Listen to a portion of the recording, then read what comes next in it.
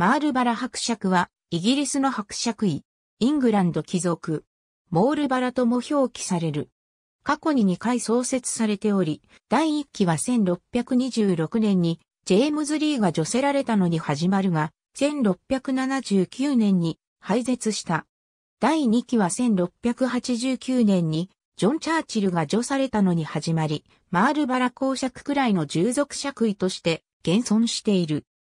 庶民院議員や大蔵卿や枢密院議長等を歴任したジェームズ・リーは、1619年7月20日に、順断尺くらい、1624年12月31日に、デボン州におけるリーのリーダン尺、1626年2月5日に、マールバラ伯爵に除せられた。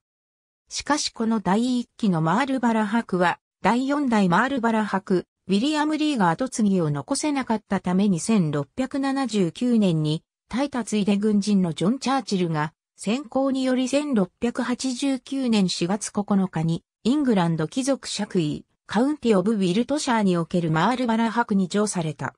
彼にこの爵位が与えられたのは、彼の母がリー家と遠い遠赤関係にあったためだった。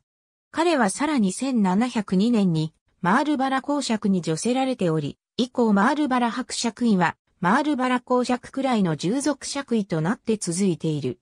現在の爵位保有者は、第12代マールバラ公爵、第12代マールバラ伯爵、ジェイミー・スペンサー・チャーチルである。以下マールバラ公爵参照。ありがとうございます。